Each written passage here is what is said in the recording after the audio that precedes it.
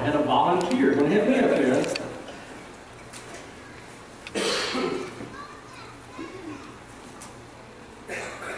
Well, good morning, church. Good to see you. Y'all don't know it, but I went to church with y'all last week. I watched you on my phone. and y'all had a great time, didn't you? Michael preached a good sermon, and y'all had a great, a great time. We're in Romans chapter 6.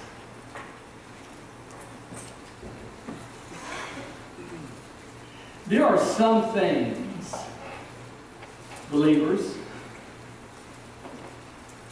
that when you come to understand them, it will transform your life as a Christian. It will cause you to look at things differently. It will cause us to go back and re-examine some of the things we have believed. And so, the last Sunday that I was here, we, we talked about our, our mystical union with Christ. Now remember what we said that was? It's mystical. it's a mystery. It says that we are joined to Christ. And today we're going to look at something that's in that same category, and that is our position in Christ. You know what your position is at work. What is your position in Christ? Now, I came out of a tradition that we never talked about mystical union, that we're joined in Christ. We never talked about that we are in Christ and certain things are true of us because of that. We only talked about experience. We only thought about experience. We only lived for experience. We had very, very demonstrative services because, because we wanted to have an experience, because our whole Christian life was bound up in experiences. How do I know I'm saved? I know I'm saved because I've got the Holy Ghost and I'm having experiences. If I'm not having any, if I'm, if I'm not having experiences, then I'm afraid I'm not saved anymore.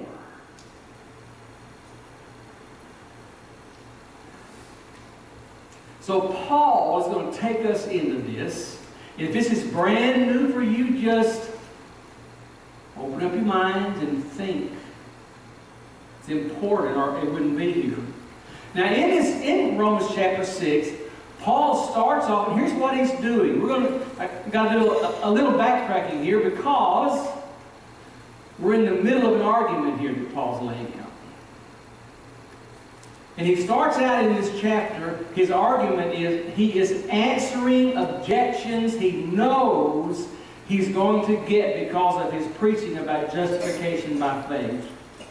He knows people are going to come against him. Now listen, when Paul writes this letter to Rome, he's writing this letter from Corinth. It's about 56 or 57 AD. So he's been traveling and preaching for about 20 years. People know his doctrines now. And some people think they are anathema. And so, verse 1, he, he begins immediately answering the objection. What shall we say then? Are we to continue in sin so that grace may increase or abound? Now, why does he ask the question? He asked the question rhetorically because he knows people are going to say what he preaches tells you that you can just live in sin, do anything you want to, and you're still going to heaven. That one saved, always saved stuff is an abomination. That's what the argument's about. It's ironic here that the people who believe that statement are the ones who come to this passage the most, even though they don't even realize it's refuting what they think. What shall we say then? Are we to continue in sin that grace may increase? Paul said, Is this what we're saying? And then he answers in verse 2 May it never be. King James, God forbid. How shall we who died to sin still live in it?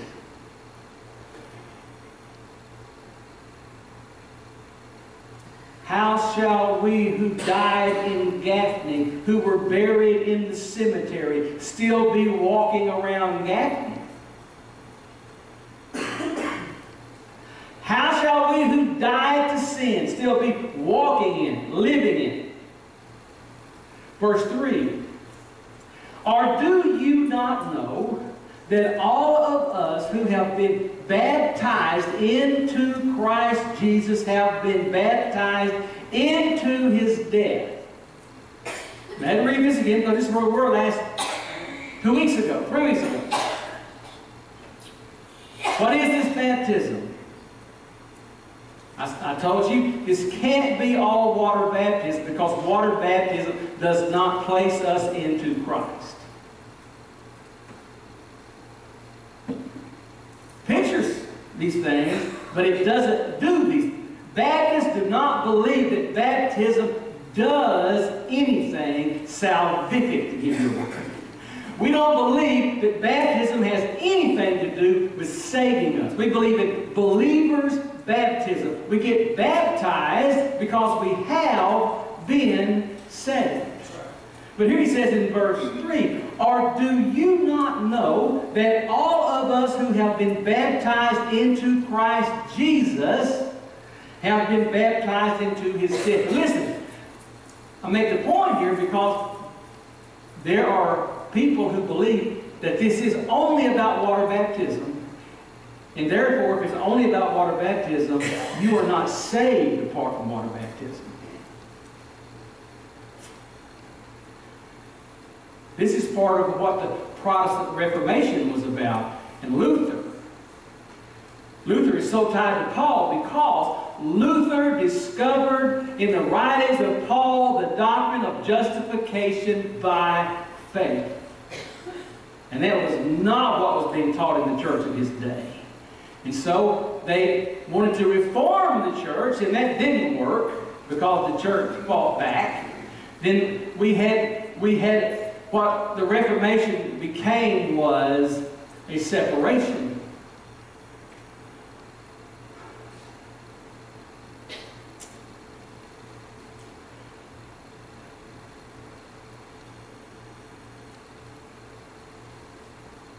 So Paul is talking about spiritual baptism. We're talking about spiritual things.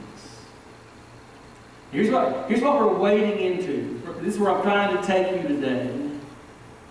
There are things in the Christian faith you experience.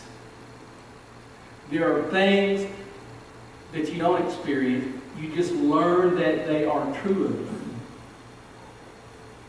That's practice and position. It's the experiential side. Do we have experiences as Christians? We have experiences. But there is the experience side and there's the positional side where the Bible says this is true of you. You don't know it because you had an experience, but it's true of you because you had the experience. Listen, that, that's what regeneration and justification are. You don't experience justification. You experience new birth.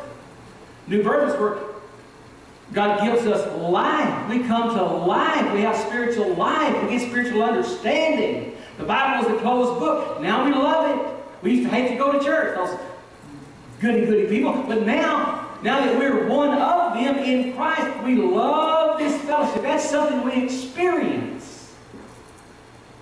Justification is something you either know it's true or you don't. Which doesn't mean this church, the Christian faith does demand that we think about some things and not just live on our feelings only. We have to think. So,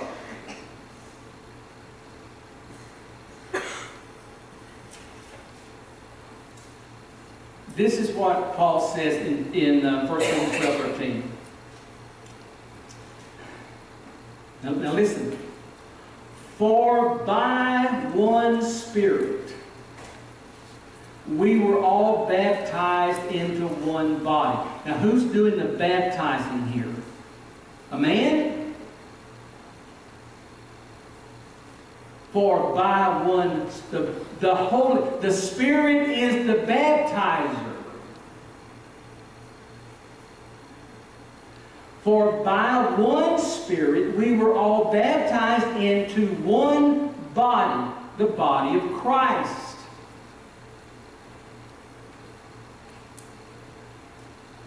Whether Jews or Greeks, whether slaves or free, we were all made to drink of one Spirit. So here Paul is saying, there is a spiritual baptism by which we are baptized into the body of Christ. Here's what happens when we're baptized into the body of Christ. Everything that's true of Christ becomes true of us because we are in Him. Now, get that, because Paul speaks to tell us we died with Him, we were buried with Him, we rose with Him. How? Because God the Father counts us as being in Christ. Now, when you read your Bible, you're going to find that you run across in Christ over and over and over again. Means we are in Christ. Now, I want you to notice that Paul's already been saying this about our relationship with Adam. How how is it that we're lost because of Adam? It's because God counted us all as in Adam.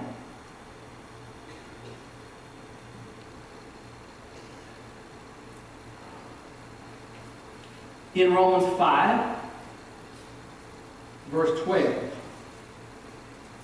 Paul begins his long explanation and argument between this is what happens in Adam. This is what happens in Christ. He says in verse 12, Therefore, just as through one man sin entered into the world, and death through sin, and so death spread to all men because all sin. How did we all sin? That's past tense, once for all.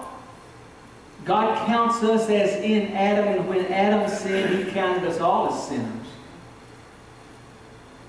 Well, I don't like that. Tough. God did it. God says it, and he says it more than once. Doesn't he? That's a positional thing. God just reckoned us all as being in Adam, and Adam was the champion. And when Adam fell, we all fell. What a fall it was.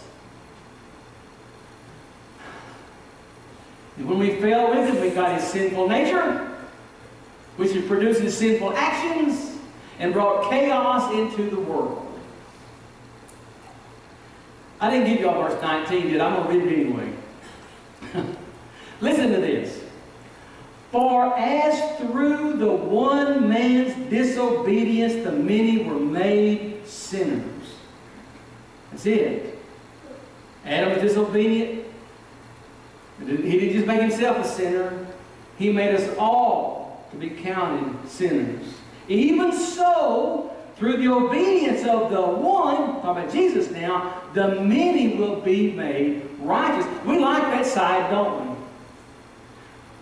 Sometimes we don't like, oh, I don't understand why, why I'm guilty with Adam. But you don't mind being righteous because one man, Christ, paid our, uh, all of our sin debt. Oh, now, that's okay. So,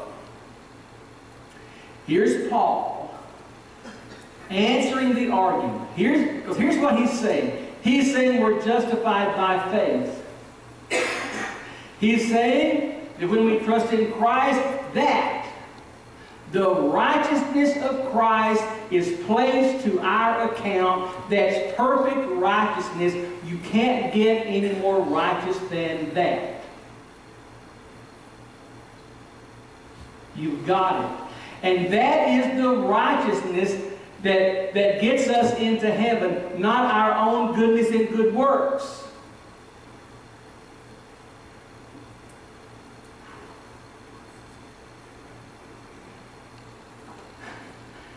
Try to picture Martin Luther, Catholic monk, teaching theology in a seminary. He's had to learn the language of the Bible, and he reads these things. And first of all, this happened to him. He was born again. He was regenerated. The, he received life from God. And then he had understanding of spiritual things, and as he studies the Scripture, he sees the doctrine of justification by faith. He was in a church that was so works-oriented that if you went to see your pastor priest and you told him that you had sinned, well, he would say, okay, I'm going to give you some things to do. You maybe say some Hail Marys, but then I'm going to give, I want you to go out here and pick up trash on the parking lot. I want you to go over here. I want you to spend some time visiting in there because you had to work to pay off your sin.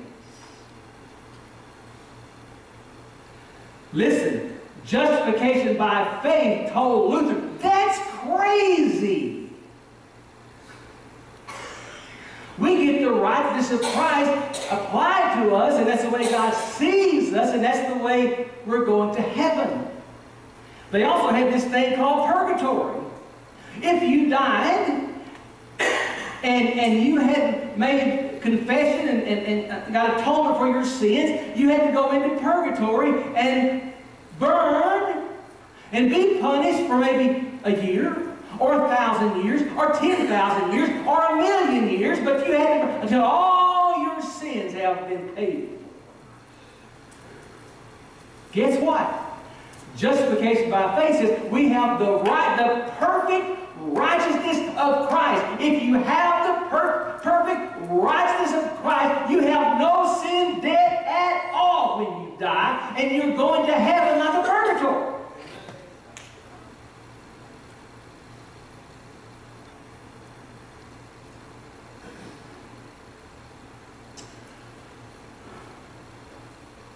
So,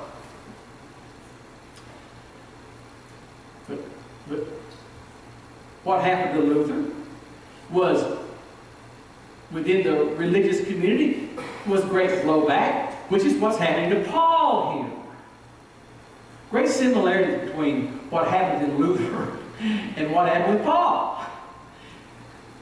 They, they, they both find the pure truth of the Scriptures and then they have to fight the religious world the rest of their lives. What happened? But thank God they had the truth. Now, let's look at verses 3 and 4.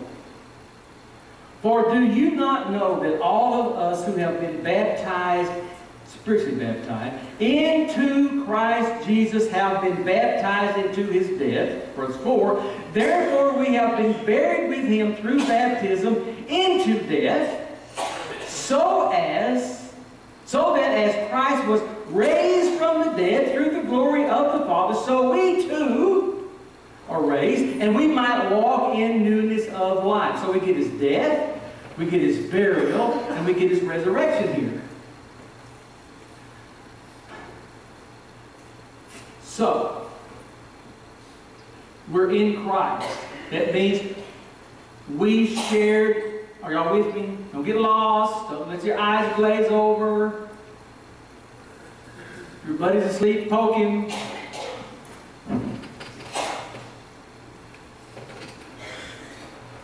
When Christ died, we shared in his death. How? we're in. It. We're in.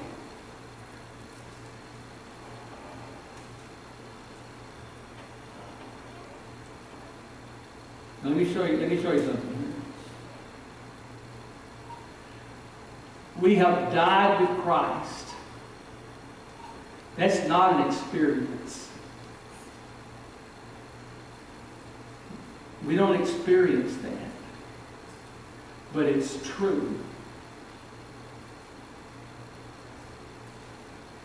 So here's the thing with salvation. We're going to experience some things, and then we're going to find out that other things are true. But I'll tell you this when we understand the things that are true, it will affect our experience. Because we will see the glory of it and we can't hardly stand it. Let me tell a story. I read a book one time about a guy. His name was Arthur. And uh, I loved it because it was kind of set from the 1890s into the 1916, 17 period. But he was an orphan. In back then, if you were an orphan, they had orphanages, and so he was put in an orphanage. And he was getting older. He was 10 or 11 years old, and it was, it was pretty well understood within the orphanage that when you got big, you, you never got picked because everybody's looking for a baby. They're looking for somebody new. So he had this buddy named Nick, and they would talk about, yeah. And, and, and then in this case, when you were 16, they gave you some used clothes on your back and a little bit of spending money, and you were on your own. If nobody ever picked you. And so they're getting older.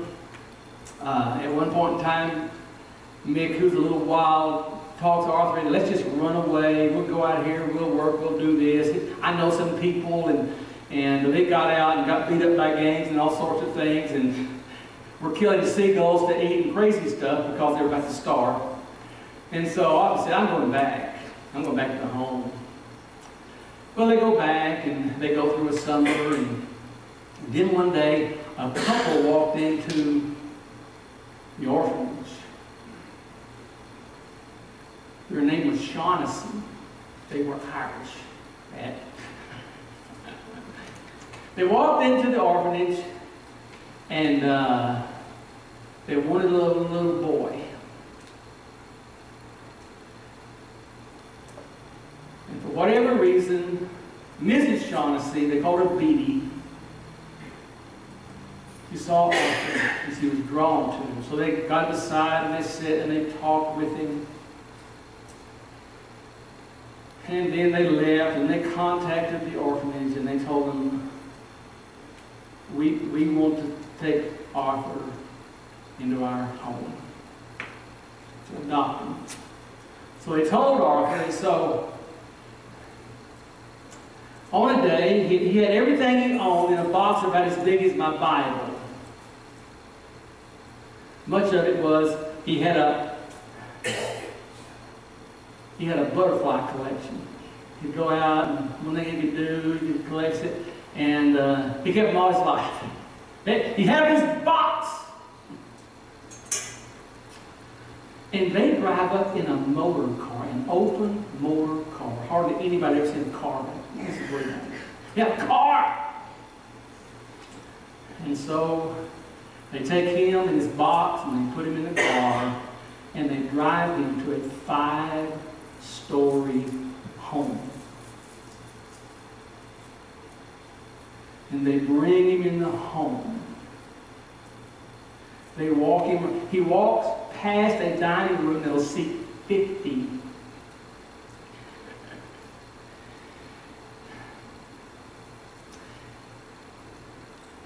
They walk down a hall. There's an indoor bathroom. Not at the orphanage, you're out back. She says, Would you like to go in there and clean up? he goes in there, closes the door, he sees, he sees what it is, and uses the bathroom. But now he's looking, he doesn't know what to do. didn't fall, didn't, go, didn't leave. And so he finally opens the door and she says, Look Here, pull a little, back in, pull a little chain and flushed. So listen, Arthur is experiencing all sorts of things He gets new clothes. He eats better food. He has his own room. He has a he has a father legally. He has a mother legally. He has a sister who are in the home. But listen, these are things, life is better. He's experiencing things. But listen, there's lots of things about him he needs to know, but he doesn't know yet. One is this he's a legal son, and he has a vast inheritance. Because the reason, in, this is in Chicago, by the way, that, that his family lived in a five story house is because his father owned a railroad. A railroad. And he also owned a million acres in Mexico. Cattle When a meat packer, this is true story, when a meat packer contacted the man, the farmer of that ranch, and said, Could you produce for us 30,000 cattle? He wired back, What color? we got them black, we got them brown, we got them white face. What's he want? Big. Now listen. So here, Osborne begins to understand his position is changed. Not just his experiences, his position. Now he would go to the best schools. He would get educated. He would get prepared to be a part of this kind of a world because he was wealthy in his father. He was a beggar. He was an orphan. But now his inheritance is great. Now listen, he didn't experience that part. He just had to learn who his father was. He had to learn what his father could provide. Now, y'all, that's the way Christianity is. New birth is an experience. Somewhere along the line, we, we have an experience where we come to know Christ. It doesn't always happen the same. Some, some of ours, it's all at once. Wow. I'm here lost and they're saved. For some people, it's more of, it, it's, it's more of a really felt pro, uh, progressive thing that goes on. You, you start getting understanding and you get more understanding and somewhere you step over the line from I was dead and I'm alive. But that's an experience. We know that we know Christ by experience.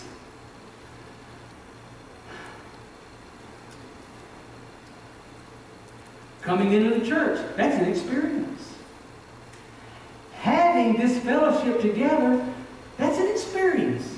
It's a glorious experience. But this is all on a certain level. There's all this other stuff that we don't experience. We just have to learn that it's true. Now listen, do you think when Arthur began to understand what kind of a family had adopted him and brought him. Do, do you think that when he began to understand that, that that made him even more enjoy his life to realize what was out there for him? What's the way it is in Christianity? We have regeneration, which is synonymous to new birth. Regeneration is an experience. Sanctification, to a degree, it's an experience. It's the Holy Spirit working in us to bring us into holy living. Uh, it brings conviction when we sin. It's all, so, so this is something happening in us. When we sin, we're convicted, aren't we? So, I'll do that again. But listen, some things are not. And justification is not an experience. Just not an experience. You're, you'll never hear anybody say, oh, I, I, remember the day I was justified. I was out picking green beans, and uh, it just hit me out in the garden. Justification. No, you don't do. That doesn't happen. Justification is something God says is true of you. when you come to faith in Christ, He says, you have been declared righteous. Period. Has nothing to do with how you live. This is why Paul's expecting blowback. Because here's what people say. Now, wait a minute. If we just receive this righteousness and, and, and then whatever we do, it doesn't affect it, that's dangerous. It's better if we can tell people, if you sin, you're going to hell.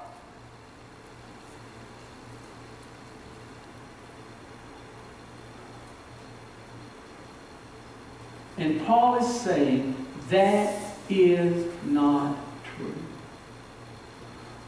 We will serve God because we love Him way better than we'll serve Him if we're afraid of Him.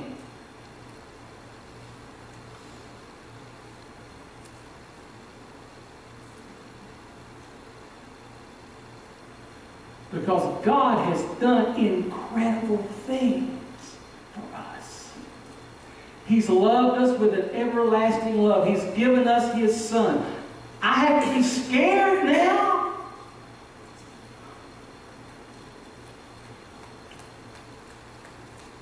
But, but the point here, Paul never backs up from this. Paul never backs up from the fact that we are justified by faith. We are declared righteous and that never changes. But now, he has to, he has to lay out how this works. And so, we're in Christ. And the first thing is this. He says that we were baptized into his death. So we are, we are in Christ. And when he dies, we die too.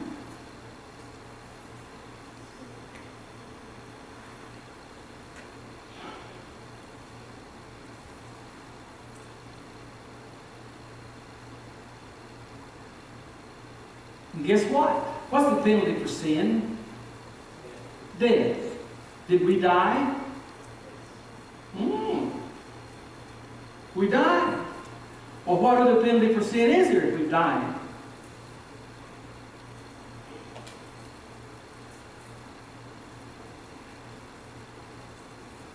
There isn't one, is it? Listen, that's one. I mean, that's why Paul says things like this over in, in, in Romans 8, verse 1. Listen, therefore, there is now no condemnation for those who are in Christ Jesus. Why is there no condemnation? We're in Christ. What's true of him is true of us. Is there condemnation for Christ? No. There's no, there's no condemnation for us here. Therefore, there is now no condemnation for those who are in Christ Jesus. For the law of the Spirit of life in Christ Jesus has set you free from the law of sin and death. It's gone for you. It's gone. It's not hanging over your head. It's not hanging over you. And then he says,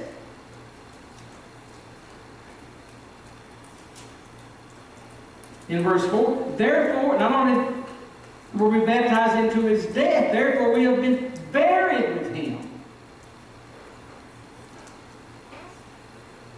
Let's seem odd to you that we're going we're going to deal with burial. What does burial do?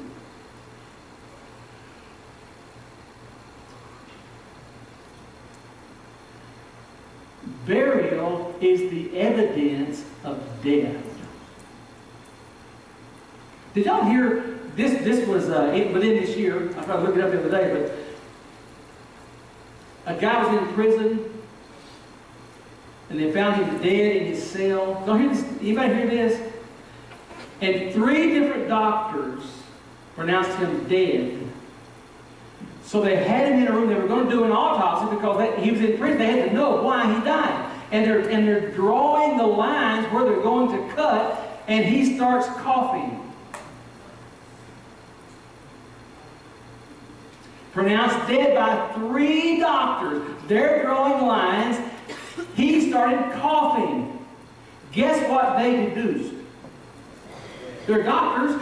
These doctors said, I don't think he's dead. he's coughing. And then he started taking deep breaths. and guess what? He wasn't dead. The good news is, because he wasn't dead, they didn't bury him. Burial is the evidence of death. Jesus died and he was buried.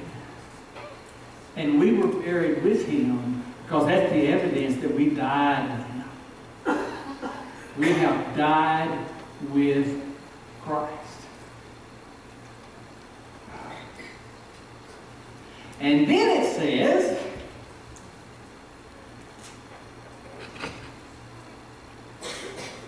Therefore we have been buried with him through baptism into death, so that as Christ was raised from the dead through the glory of the Father. So we too might walk in newness of life. Because we've been raised with him. Here's what Jesus did.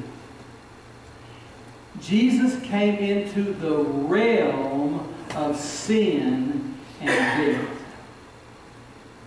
He came and he lived in this realm of sin and death. There was no sin where he came from, was there? There was no death where he came from. He came into the realm of sin and death for us. He came into this realm of sin and death to get us out of the realm of sin and death. Understand this. You did not escape from sin. You were rescued. You were 100% rescued. Jesus came into the realm of sin and death in order to get us out. Here's the way the writer of Hebrews says in, in, in uh, 2 9. But we do see him who was made for a little while lower than the angels. What does it mean? It means he lowered himself in his status in every way. He created the angels, but now he's made himself lower. Jesus, because of the suffering of death, crowned with glory and honor, so that by the grace of God he might taste death for everyone. So he comes into the realm of sin and death so that he can taste death for us.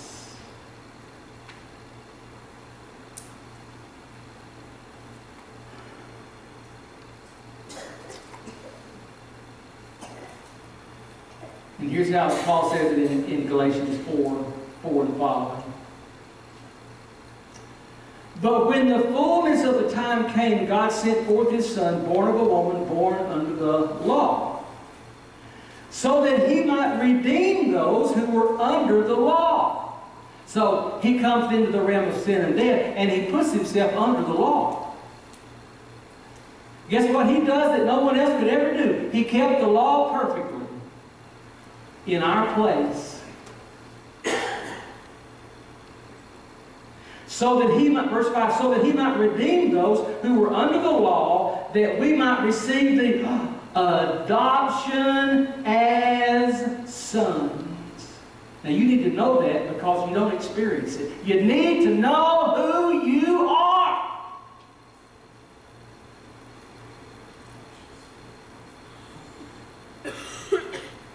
You need know who your Father is. You need to know what He has done for you. You need to know what He has in store for you. It has a lot to do with how you live your life and practice what you know up here. Who wants to fail a God like this?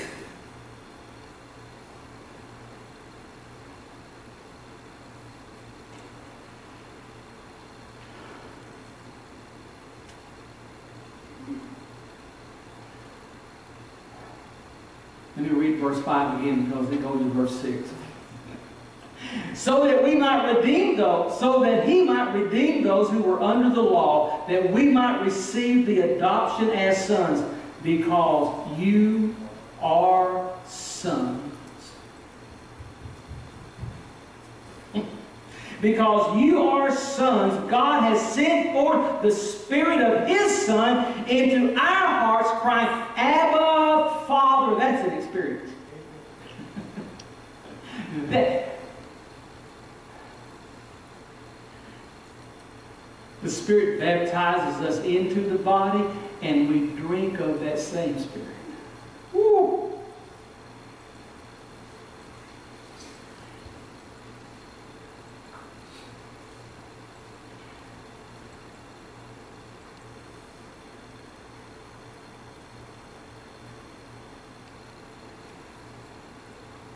This is something worthy of shouting about. The people that shout the most don't even know what they've got to shout about. We know. We restrain ourselves. maybe, maybe too much. But this is what. Let me read verse 7. Therefore, you are no longer a slave. We were slaves in sin. But a son. And if a son, then an heir. An heir through God. Me and Donna have talked about our inheritance.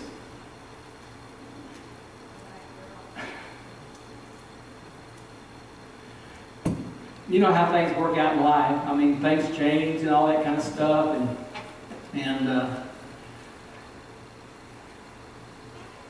when, when Donna's mama died, she had talked to her mother for years about one, let me get it too big, about this high this, about this long, a little table. She wanted it.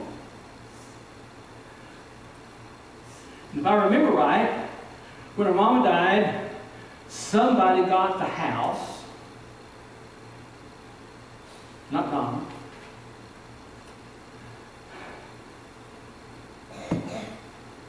And when Don was trying to get her little table, I guess it was the person who got the house. That, or that's not the one, as if she didn't know what table she'd been talking her about for years. But anyway, that's her here. She got it. We get a house, got the little table. Uh, and uh, when my mom died, I, I got a I got some stuff and boxed up. I was here when my mom died. It was 2007. It seemed like I just got here, but it was December the 18th of 07. call. My mom died. My sister went there. She had uh, sold her house. She moved into wasn't an assisted living place, but a place for seniors where you had your apartments together and stuff. And, and uh, so we packed up her stuff, and she had a big old wooden pump organ and one of my brothers. I had no place to put it. I got a little set of silver. It's in, down in the basement. And uh, some pictures, maybe a little bit of her jewelry, stuff like that. But I could put it all in a box about like this. and that's just true for a lot of us, it? We don't, we don't get a lot handed down to us. My, my father got my grandfather's ranch, and, and uh, my grandmother lived uh, up until, gosh, 1995 or something. But anyway, he started selling off a piece here, a piece there. He never wanted, for some reason, he was the total opposite to me. He never wanted to be on the range. He never wanted to be out in the country. He always wanted to be. Maybe because he went to World War II and came back and he had seen Curry and you know, arranged. I don't know. I don't know. But as soon as all gone, we found out when my when my brother died, we went to this funeral back and we buried him back in the cemetery where my grandparents were buried. We found out that day that he sold it. But uh, I'm a believer. Who cares? Who cares? I am an heir. I has not seen, ear has not heard. It is not entered in the hearts of men. The things that God has prepared for those who love Him. We're heirs of God. Can I get a hallelujah? hallelujah.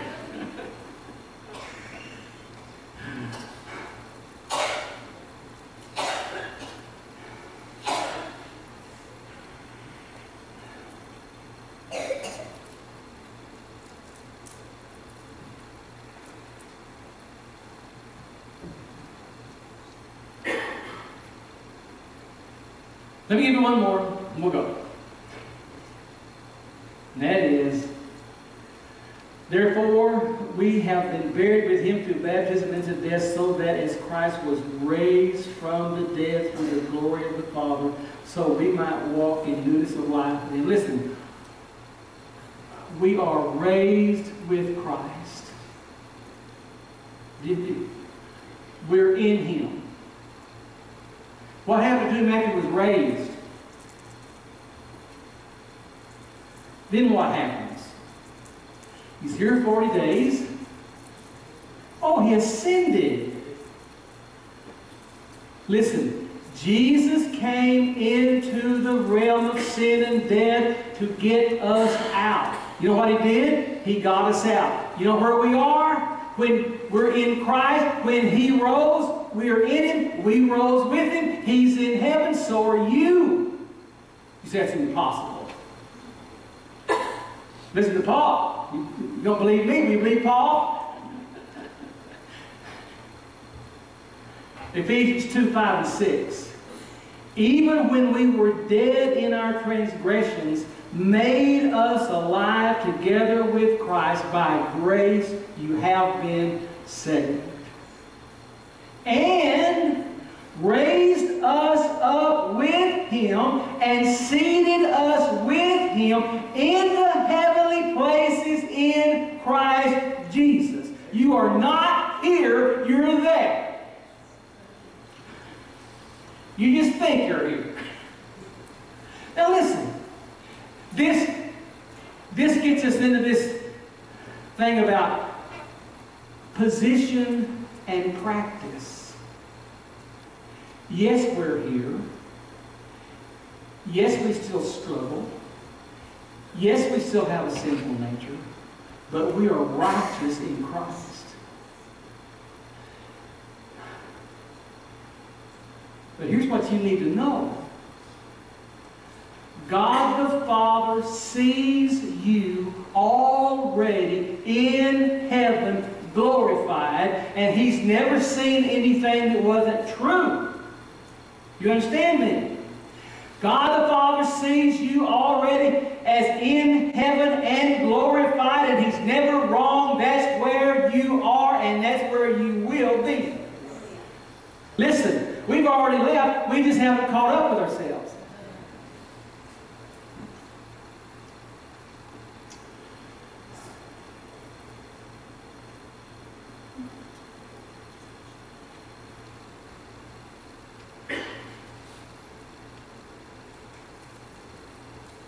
We died with Christ. We're still here, but we died with Him. That's what God says is true of us. We were buried with Him. We're still here, but we were buried with Him. Proof that we died with Him. And he was raised from the dead, and we are raised in him. We have new life. It, it, it means this for us. Listen. We are no longer captive to the realm of sin and death. We have been set free. We do not have to live in slavery to sin now. Why? Because we have conquered the realm. We still have to struggle because we're still here with our feet on this ground, but we've conquered. And you have already conquered death. You rose from the dead with Christ. Death has no hold on you. Do you understand me? Death has no hold on you believers. Here's all, listen, here's the only thing lacking. Here's the only thing that has to happen. We have to exchange this body for the new one, and that's it. That's it. Everything's in place. Everything is ready. Everything is true. We're going to exchange this body for the new body, and it's over. Physically present with Christ in the presence of the Father for eternity. This is all true if we know Christ now, if we have trusted Christ. Let's pray. Father, we thank you for your word. I just pray. I know, I know we sometimes struggle to understand deep things, these are deep things.